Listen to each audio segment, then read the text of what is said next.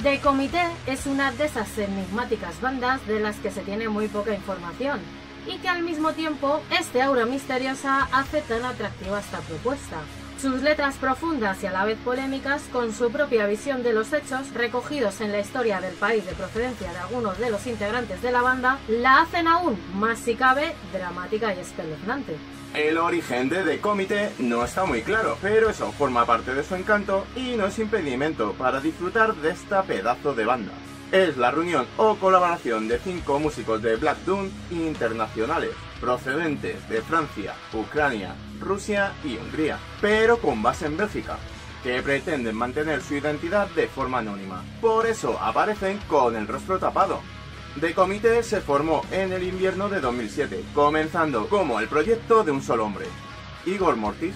Después de que el proyecto permaneció inactivo durante un tiempo, accidentalmente fue descubierto por el batería William Auruman, quien logró formar un fuerte colectivo musical de cinco almas, más colaboradores y músicos de sesión, Así que la banda queda completa de esta forma. Igor Mortis, el conspirador, voz principal y guitarra. William Auruman, la carta, batería. Aristocracy, el gatillo, guitarra y voces. Urok, el inquisidor, teclados. Y cuando Igor no puede estar al frente de este ejército, le sustituye el navegante hacen un black metal atmosférico con temática ocultista, conspiracionista e histórica, con tintes de la era oscura soviética. El sonido puede describirse como profundo y gutural, con un carácter monótono, atractivo e hipnótico. La expresión de pura miseria y sufrimiento prevalece en todo el conjunto. Y a pesar de utilizar la temática soviética, la banda ha dejado muy claro que se declara apolítica. Que han escogido esta temática, como otras tantas bandas, eligen otra clase de temática bélica. Y aunque sus temas podrían ser algo controvertidos para muchos oyentes, su objetivo es presentar hechos históricos de una forma más profunda. El lema de la banda es la historia la escriben los vencedores. Somos la voz de los muertos.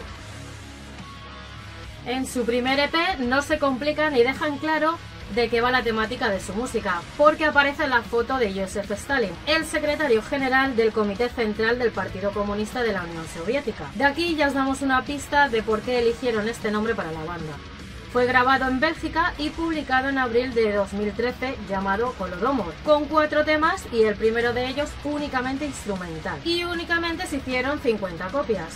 Este álbum se basa en los tiempos turbulentos de la Revolución Rusa y la posterior pérdida del poder de los bolcheviques, combinado con innumerables vidas perdidas y la esclavitud de millones. Este lanzamiento está envuelto en un velo oscuro de atmósfera sombría y una combinación estratégicamente elegida de sonido profundo y desgarrador que te agarra por el cuello y te arrastra la miseria y el terror del momento.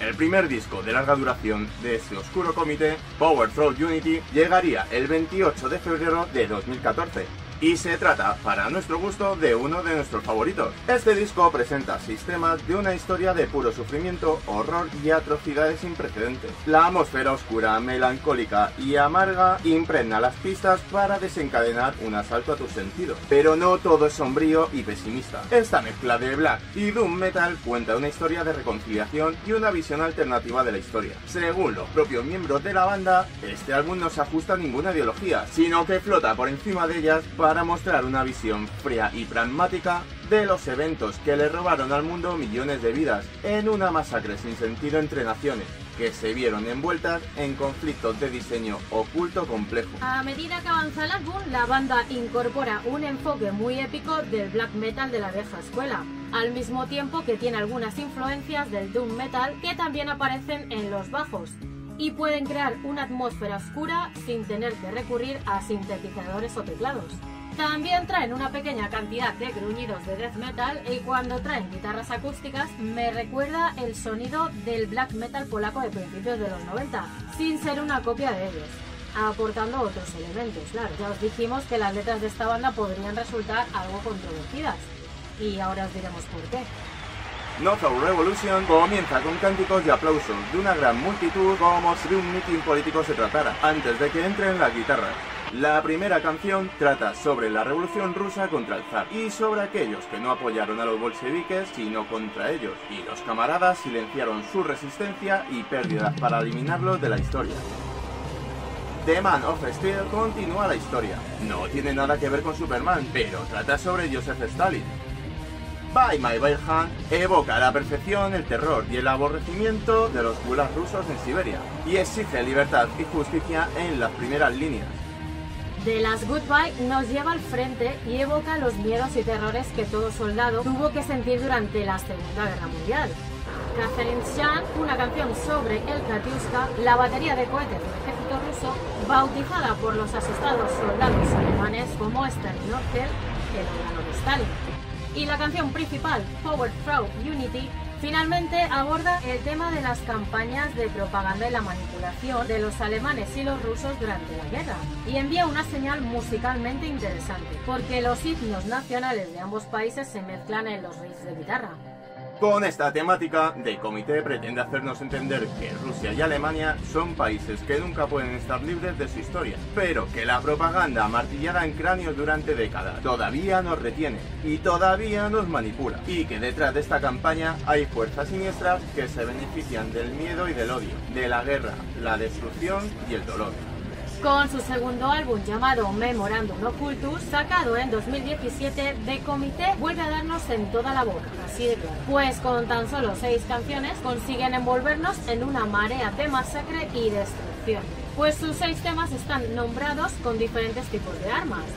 Armas usadas para el interés y el beneficio propio, para poder abusar de este mundo podrido. ¿Y qué tipo de armas son? Pues de guerra, de religión, armas financieras, de cronología, de metodología y dualidad. En este disco uno se da cuenta que quien narra la historia son los gobiernos y están dispuestos a todo. De comité no ensalza la violencia, sino que denuncia cómo los poderosos manipulan e instrumentalizan a las personas con los medios de la guerra real, mental, informática, abusan para esclavizarnos y que nos enfrentemos entre sí. Y en 2020, en plena pandemia mundial, vuelven a sacar nuevo disco, otro para agregar a su libro de historia. Utopian Deception, que nos conduce a las profundidades de la mente humana, cuyo camino está marcado por el doble rasero, manipulación y eufemismos retorcidos del nuevo mundo moderno, donde los brazos enfermos del mal y la miseria se elevan para crear una nueva barbarie al que la humanidad está siendo arrojada. Dejando atrás solo tierra quemada y huesos rotos, para darle la bienvenida al futuro hoy. Y lo terrorífico es que encaja perfectamente con los tiempos en los que vivimos. En resumen, podría considerarse un estudio sociológico en el ámbito bélico europeo. Con solo estos títulos han mostrado la verdadera esencia del black metal, pues relatan una gran parte de lo desagradable y censurable del mundo real que nadie quiere ver ni oír.